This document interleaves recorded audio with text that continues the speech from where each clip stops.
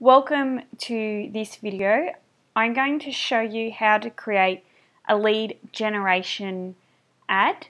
Um, I've already got the page that I'm going to share and, I, and I'm also going to use a privacy policy which you're going to need before creating your lead page generation um, Facebook ad. And so the other thing was your your free report or guide, whatever you're going to give them, needs to be placed on a website so they can go and download that. As you can see, I am on my personal Facebook page here, and what we need to do is we need to make sure we've got a business page already set up before we can run our ad. We cannot run ads from our personal uh, profile account.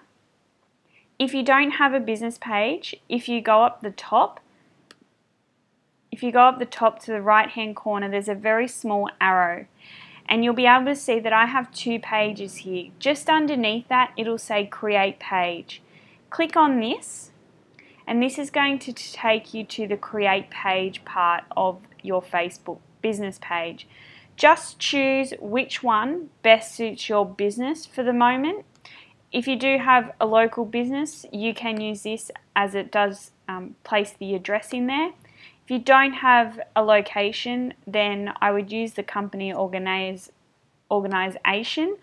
Um, if you've got a brand or product, when you drop down, you can see that there's lots of different categories within inside of these. So just go through them and choose which best suits your business. Once you've created your page, I want you to just make sure that you have a profile picture um, and a cover image don't worry too much as this is just a test about having any content, but I would like you to have a profile picture. Either this be yourself, if you've already got a current business that has a logo, then that's great, you can use that. And your cover image, I just would like you to have something simple that kind of reflects the topic that you are doing and you've obviously got your business name there as well so that's great. The reason that we do need a profile picture is because when we're running ads this profile picture gets shown with our ad through the newsfeed so we do want it to look a little bit professional. Once we've got that set up then we can go to the top um, of our Facebook page to that arrow again. We're going to drop down and we're going to go create adverts and for this instance, we're just going to use the Ads Manager. There is something that's called the Power Editor that has a lot more detail. This works very similar, um, but we're just going to run through this to start with. We've got three different categories. If you look over on the left-hand uh, side of the page here, we've got campaign, advert set, and advert. So basically, you just look at it as three sections of the ad that we need to complete. Our objectives, we're going to choose lead generation. And then we just want to name that so we know what this lead generation ad is. Um, so you just name your campaign, whatever you would like to call it. I would leave leave the lead generation in the front and then maybe just put um, your category or whatever you'd like to call it on the end. We're just going to go continue. Then it's going to give us a section to run our ad from. So we run our ad through our Facebook business page. I'm going to drop down and switch it to another page. And then when we come down to this section, this is where we choose our audience. So with everything we've researched on in our demographic and our audience, this is where we need to put that information whether you're choosing location Australia wide or whether you're choosing just local, town, um, city, whatever it might be, then you need to put in the location here. So you would just, if you're targeting just Sydney, you could put Sydney in there. Uh, if you want to break it down into suburbs, you can. So if we were going to go to Parramatta, um, we can do Melbourne. Wherever the location is, this is where you put that. Okay, and then we come down to where we've got age. So what are the age that we want to target with this ad? Um, we'll say between 28 and 40. Okay, are they men or women? Or maybe they're both. Then we want to enter our language, which is English.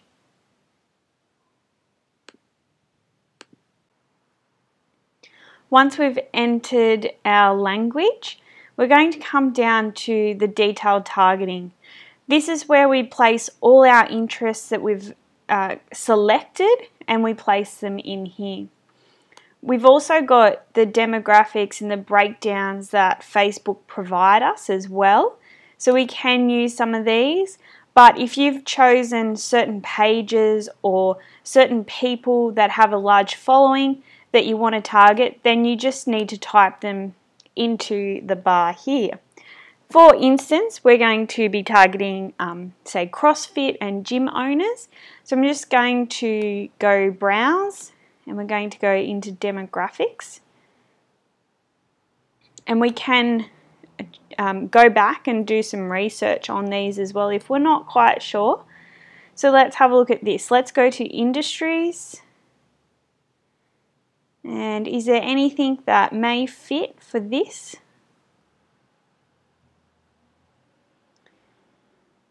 Maybe not in there, so we'll go interests and we'll go fitness and wellness. So we can tick gyms.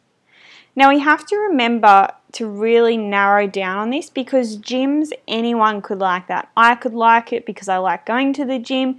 It's not necessarily going to be a gym owner um, that we're targeting here. So we do need to narrow down on that. Uh, let's type in here CrossFit. And as you can see, we've got interests, employers, and as we work our way down, you can see that the difference between these here. So CrossFit Gym employers, we can choose them. Now as you start to put in these detailed targeting, things are going to start popping up underneath here to see if that fits the interests that you want to target also. So you really do need to go and break this down. We could put, let's see if, if we type in here, gym owner. Um, so let's just scroll down. So small business, which is a behavior. So we've got digital activities, small business owners, people. So this is people who list themselves as a small business owner or own small business pages on Facebook. So we could choose that one.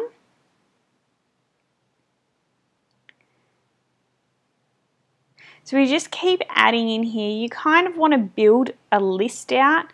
Uh, sometimes I can have up to 40 and then other times you might narrow it down to um, maybe 20 or 15. Just depends on what you can find on here that, that would fit in. We could put CrossFit games.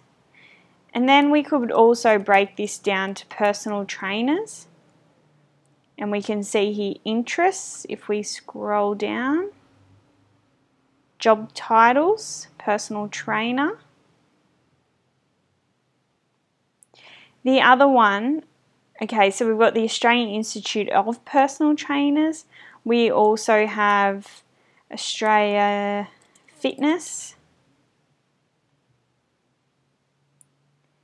Fitness First, Anytime Fitness. Fitness Australia, Australia Fitness Network, and then you can see this one also has schools and universities there.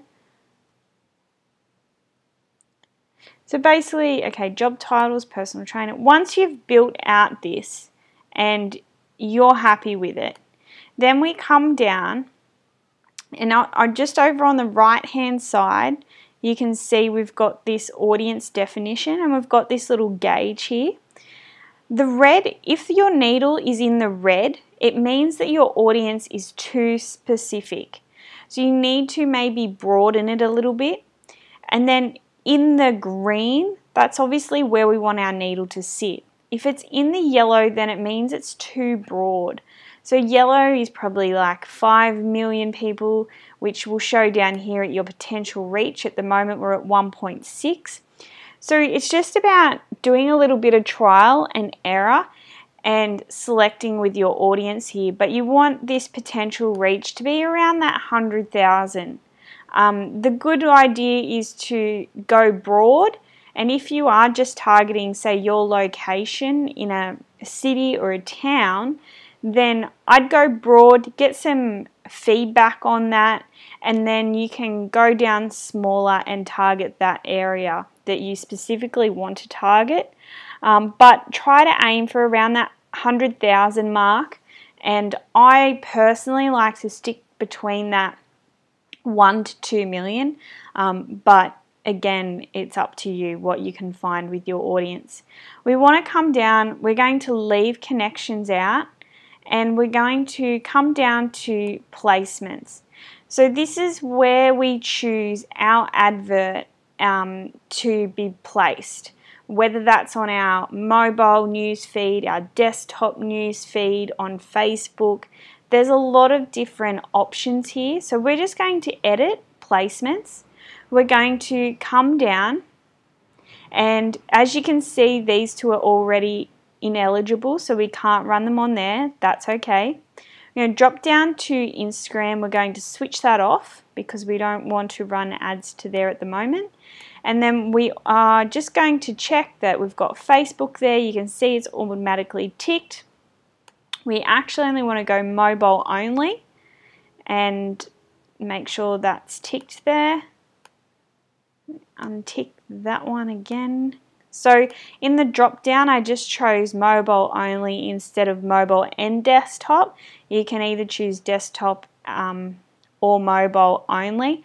So we're going to do mobile only. We're going to come down to our budget and schedule and in here we're just going to take out $20 and put $5 so this is our budget that our ad runs off per day remember so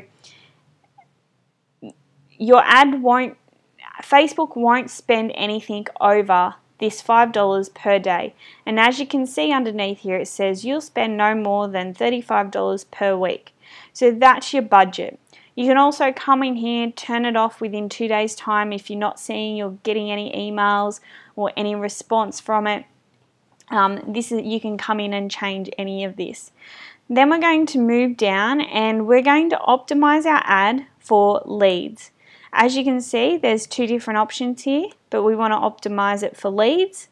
And you can rename this if you would like, if you've chosen a specific audience. Um, so you might put CrossFit or, or um, fitness owners.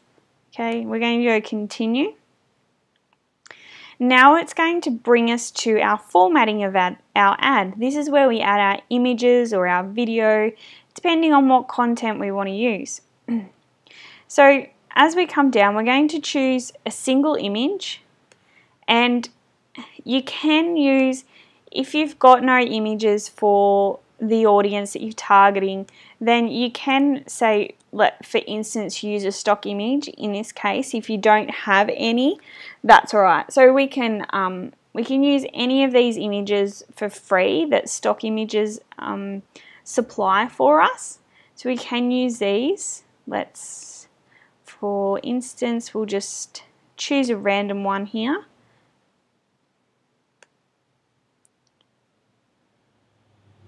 And once that's ticked, go done. If you select more than one, just be very careful because it's it will create another ad. So see here it says one of six images. You just want to choose one and if you do want to change it then you just need to delete this one, go back in and grab another one. So we just want one and it'll appear on the right hand side here of what our ad currently looks like and as we add more text to it, you'll be able to see how it appears over here. Okay. So we put in, um, if we go down, this is our lead form. So if we want to create a new form, and this is what it looks like here, we go new form.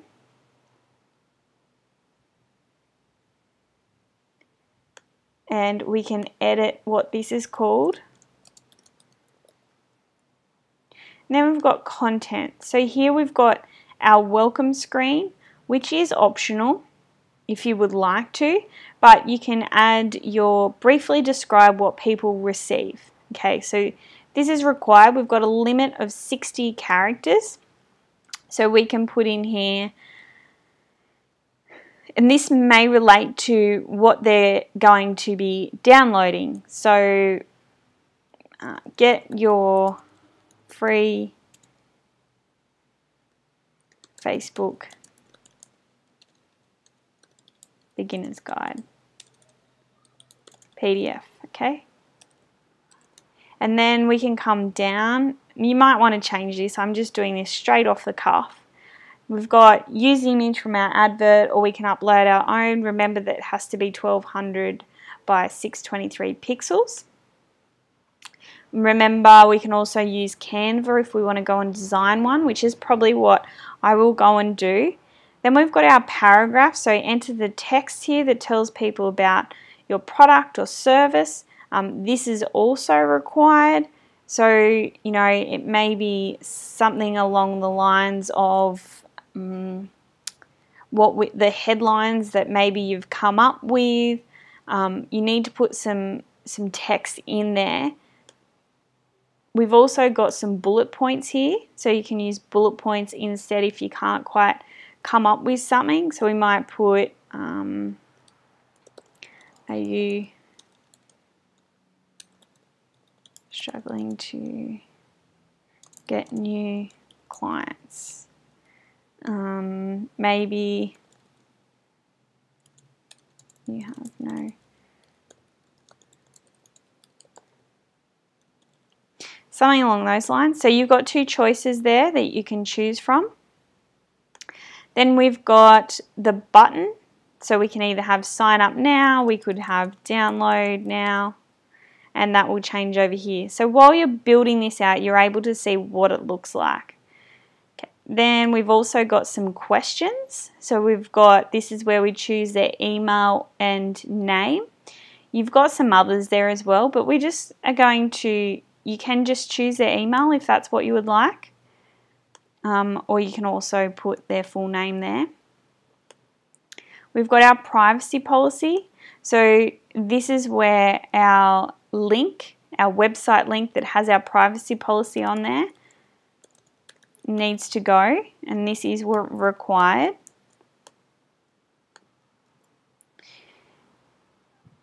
Okay, and then we can have a thank you screen. And this thank you screen is where we need to put our website link of what they're going to download to access. So we just basically copy and paste that across to there. So when a person's completed the form, we can then prompt them to visit our website.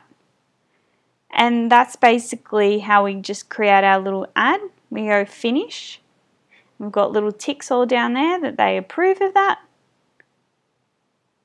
And basically we're just going to, we can place that order and Facebook will go off and approve that. Um, they've changed this little layout a little bit, so it's a little bit different since um, I last did a lead generation form. So once you've placed the order, it'll take Facebook around can take them 20 minutes, it could take them 10 minutes to approve that. You will get a notification up here saying that your ad's been approved or not. Just remember that, you know, if you are creating an image, we need less than 20% text. We also need our privacy policy and we just need to be careful about the words that we're using within our ad.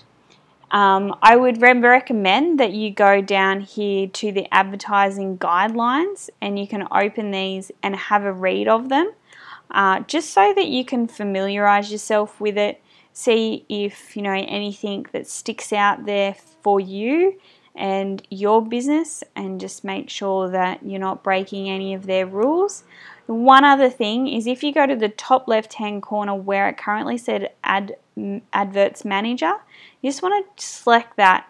And over under our tools we've got billing and payments. If you go into there just go and set that up just so that if you've got a PayPal account or you're using a credit card for the business then place that those details in there and Facebook will withdraw the funds. Um, you can choose to withdraw them as soon as the ad's finished on a monthly basis, depending on how you want that to happen. They'll also email you an invoice of the ad that has been completed once it's done. And that's basically how we create our Facebook lead generation ad. Let me know if you have any questions, more than happy to help out with you there. Thank you for watching and joining me. Talk to you soon.